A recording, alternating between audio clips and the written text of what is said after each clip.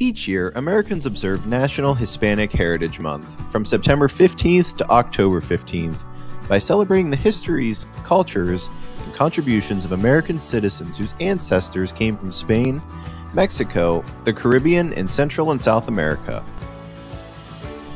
The observation started in 1968 as Hispanic Heritage Week under President Lyndon Johnson and was expanded by President Ronald Reagan in 1988 to cover a 30 day period starting on September 15th and ending on October 15th.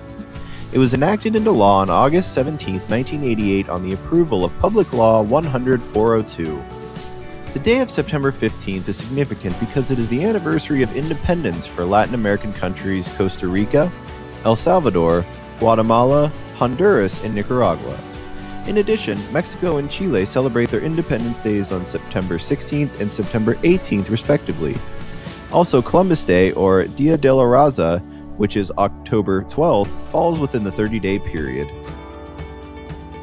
If you're looking for activities to celebrate Hispanic Heritage Month, here are a few that might help.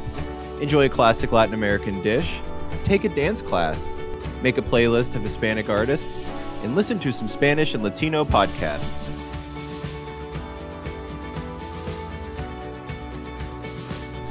Please join us in celebrating Hispanic freedom, culture, and heritage by celebrating Hispanic Heritage Month.